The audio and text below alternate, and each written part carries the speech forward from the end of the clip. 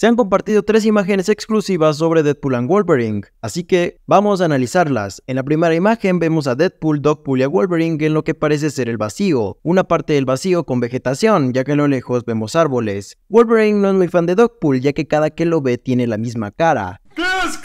La segunda imagen esconde varias cosas, o mejor dicho, a varios mutantes. Empezaremos por los más obvios, Sapo y Calisto. A estos dos personajes ya los habíamos visto antes en avances atrás. Al mutante que no habíamos visto antes es Darwin, este personaje que apareció por primera vez en X-Men First Class. Regresa para esta película. Su poder es la evolución reactiva, es decir que se adapta inmediatamente a su entorno. Le podrían salir branquias al entrar al agua, podría vivir sin oxígeno en el espacio, es básicamente inmortal.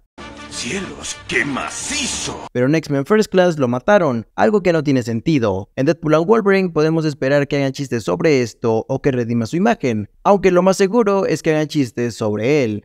Pobre Carlitos.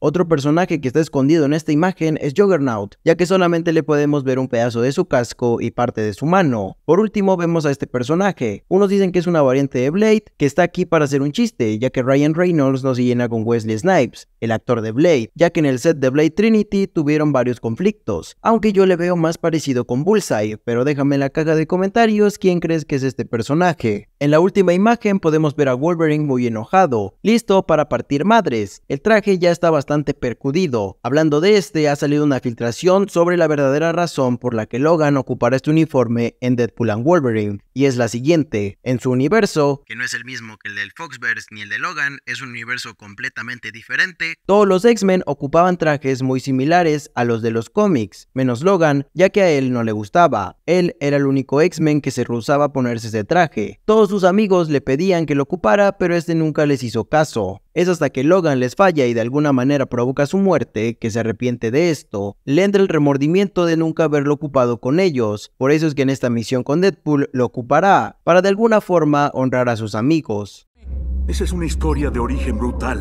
Esta filtración me agrada y creo que tiene bastante sentido, aunque todavía no se explica qué pasó con los X-Men, en qué falló Logan. Parece que tendremos que esperar hasta el 25 de julio para obtener esta respuesta. Ya que estamos hablando del traje de Wolverine, el insider Daniel RPK ha dicho que Logan ocupará su máscara solo por 10 minutos en la película, lo que para mí es un tiempo razonable. Esperemos que haya una escena memorable con esta máscara. Sean Levy, el director de Deadpool and Wolverine, ha dicho que le encantaría que Deadpool 4 fuera Deadpool and Spider-Man. Bueno, algo así, en sus palabras. Lo que pasa con Deadpool es que creo que todo lo hace más interesante, gracias a su audacia. Pero vaya, me encantaría ver a Deadpool y Spidey. Esa es una película que me encantaría hacer. Siento que Tom Holland daría vueltas en círculos alrededor de los demás. Está más que claro que este director quiere que Deadpool 4 sea Deadpool and Spider-Man. Sin dudas es el sueño de todo fan, aunque hay un problema en todo esto y es Sony. Estoy seguro de que no le prestaría Spider-Man para esta hipotética película, aunque viendo la taquilla de Deadpool 3, que sin siquiera estrenarse ya es todo un éxito, no me sorprendería que Sony con todos sus fracasos aceptara esta petición de Marvel. Pero siendo realistas, parece que la única interacción que tendrán estos dos personajes será en Secret Wars.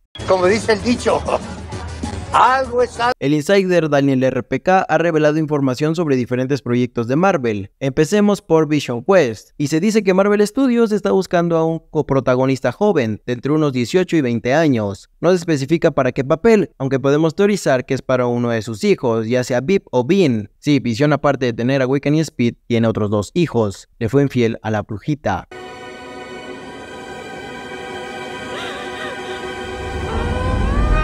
Si todo sale bien, Vision Quest llegará a finales de 2025. Nova ya tiene showrunner y también ya hay actor para Richard Wright, aunque se desconoce quiénes son. Nova será una serie y llegará en alguna parte del 2025. La película de los Cuatro Fantásticos mayormente se desarrollará en el espacio. Eso tiene sentido ya que el villano de la película es Galactus, un villano cósmico. Dime algo que no sepa, tonto. La película de Blade está maldita ya que se quedó sin director otra vez. Esto me recuerda a Gambito y a Nuevos Mutantes, proyectos desastrosos que cada mes se retrasaban. Que nunca tenían director. Aunque hay una diferencia con estos dos proyectos, Gambito nunca existió y Los Nuevos Mutantes sí, pero fue una basura. Siento que Blade tristemente va por este camino, ya que la película fue anunciada hace años y todavía no ha habido nada. Pero se dice que a Marvel Studios esto no le afecta, ya que prefieren que Blade sea una buena película a que salga lo más pronto posible y fracase. Siento que eso es lo que tienen que hacer todas las producciones, priorizar la calidad antes que la cantidad. Sobre la historia han salido varios rumores, aunque no vienen de fuentes muy confiables. Se que la película será en la actualidad, pero en otro universo, para no tener errores de continuidad. Y bueno, si te gustó el video me ayudarías mucho dando like y suscribiéndote al canal. Nos vemos.